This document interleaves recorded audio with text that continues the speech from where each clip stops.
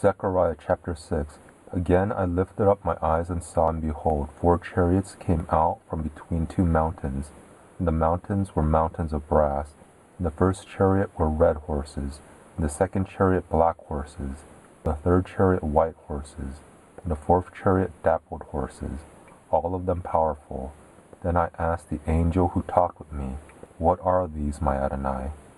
The angel answered me, These are the four winds of the sky which go out from standing before the Adon of all the earth.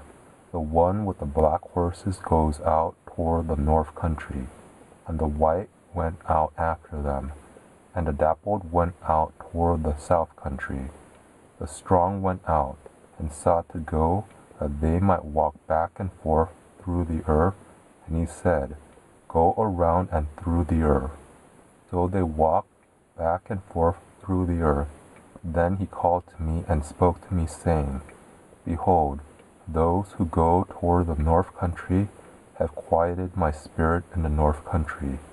Yahweh's word came to me, saying, Take of them of the captivity, even of Heldai, of Tobijah, and of Jedaiah, and come the same day, and go into the house of Josiah, the son of Zephaniah, where they have come from Babylon.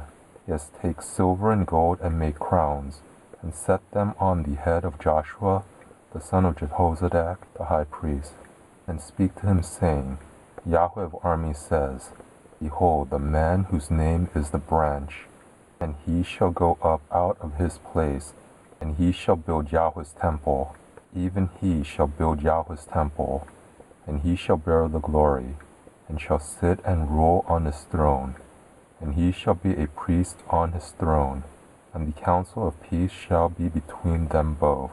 The crown shall be to Helem, and to Tobijah, and to Jedaiah, and to Hen, the son of Zephaniah, for a memorial in Yahweh's temple. Those who are far off shall come and build in Yahweh's temple. And you shall know that Yahweh of armies has sent me to you. This will happen if you will diligently obey Yahweh your Elohim's voice.